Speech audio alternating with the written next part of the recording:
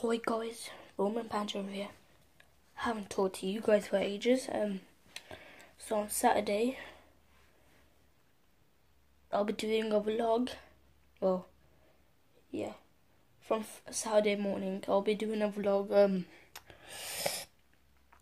uh, till let me think, maybe till one something, because I'm starting a new football training club for Wolves. Um, yeah.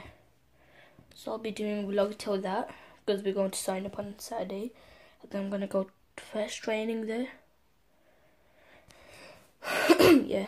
So stay tuned for that. And yeah. Peace guys. I'll be doing shout outs on Friday. So yeah, peace.